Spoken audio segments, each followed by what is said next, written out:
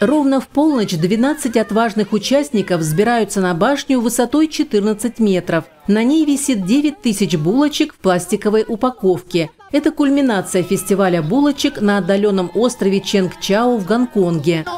Девять мужчин и три женщины соперничают в том, кто положит больше булок в свои сумки за три минуты. Также считается, что тот, кто сорвет булочку прямо с вершины башни, принесет своей семье удачу.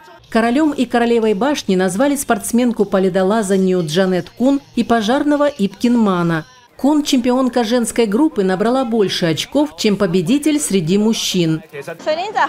В прошлом году я паниковала, нервничала и вела себя хаотично. В этом году мы были быстрыми, безжалостными и точными. Я также посмотрела много роликов с прошлогодних соревнований, определила, в каких моментах я ошиблась и все исправила. В этот раз я оправдала свои ожидания и была приятно удивлена, потому что получила самый высокий балл в целом, включая балл в мужской группе. На время фестиваля на остров приезжают десятки тысяч туристов и гонконгцев. За счастливыми булочками выстраиваются очереди в местные кондитерские.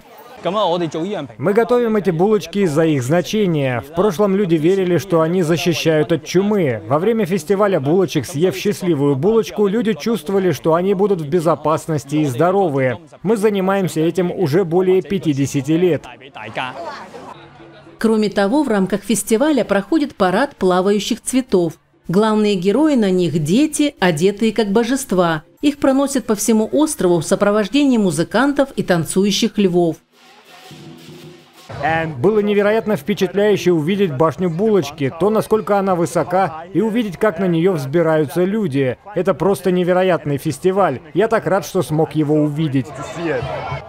Фестиваль здесь проводят уже более века. В ходе него обычно молятся божествам, чтобы защититься от стихийных бедствий и эпидемий. При этом во время пандемии COVID-19 его отменяли на несколько лет.